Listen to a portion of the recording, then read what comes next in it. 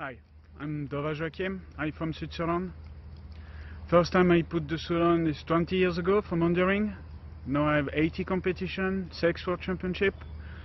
I like uh, IPO, Belgium ring, French ring, and I'm very excited to be the decoy in Madeira. And I hope we have a fun. Okay guys, see you soon.